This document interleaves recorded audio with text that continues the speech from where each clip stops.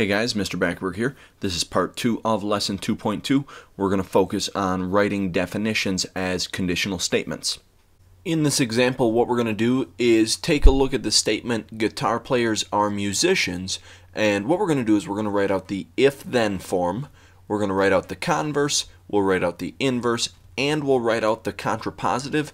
And then what we're going to do is decide if each one of those statements is a true statement or a false statement. So I'm going to start with this if-then form. When we're doing if-then form, we have to find our hypothesis and our conclusion. So our hypothesis is going to be that whoever we're talking about, this person plays guitar, and then the conclusion is that they are a musician. So my if-then form is going to say, if you play guitar, and our conclusion will say, then you are a musician. And now we're going to look at this statement and we're going to decide is this a true statement or is this a false statement. So if you play guitar, are you actually a musician? And the answer would be yes. This one is a true statement. Playing that instrument makes you a musician. So the if-then form of this statement is true.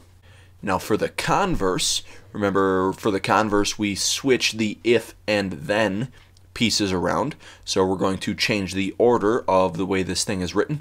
So we would say if you are a musician, and our conclusion this time would be that you play guitar.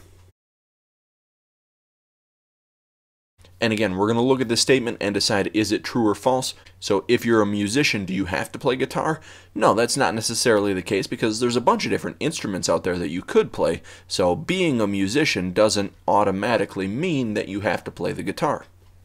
Next thing we're writing out is the inverse, and remember for the inverse, we're going to take that original if-then statements and we're going to negate the hypothesis and the conclusion. So we're going to add a couple of nots in there. So the hypothesis would say, if you don't play guitar, then our conclusion would be that you are not a musician. And again, we're deciding is this a true statement or is this a false statement? If you don't play guitar, does that automatically make you not a musician? And this one is also going to be a false statement. Much like the one directly above, there are a bunch of different instruments that you could play and still be considered a musician. You don't have to play guitar to be a musician. Then our last one that we're going to write out is that contrapositive. So remember, for the contrapositive, we look at the converse and then negate each piece. So the converse was this second one that we wrote out. If you are a musician, then you play guitar. So our contrapositive would say, if you are not a musician. And then our conclusion would be that you don't play guitar. And again, checking if this one is true or false. So if you're not a musician, does that mean that you don't play guitar? This one is going to be true, because if you're not a musician, that means you don't play any instrument at all. When two statements are both true or both false, then we call those things equivalent statements. So if we think about what we did on the last slide, the if-then form and the contrapositive were both true, so those statements are equivalent and the converse and the inverse were both false, so those ones are also equivalent statements.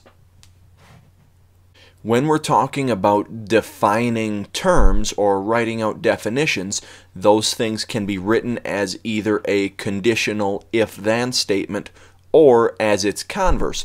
Both of those things are going to be true, so those would also be considered equivalent statements.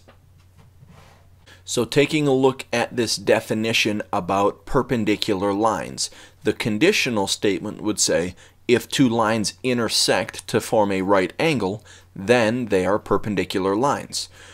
Its converse, we would flip those things around, so we would say if two lines are perpendicular lines, then they intersect to form a right angle.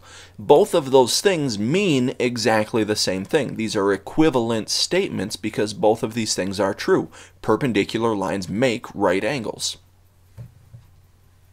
When we've got a conditional statement and its converse both being true, then we can write them as a single statement, which is called a biconditional statement.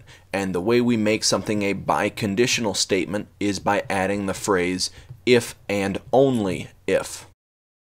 So here's our conditional statement and that converse that we looked at on the last page. So if two lines intersect to form a right angle, then they are perpendicular lines. And the converse was if two lines are perpendicular lines, then they intersect to form a right angle. If we're going to write out this biconditional statement, then what it would look like is it would say two lines are perpendicular lines, if and only if they intersect to form a right angle.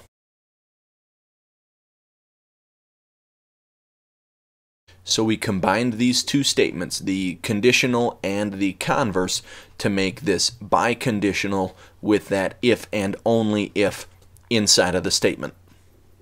That's going to be it for this video. Thanks for watching.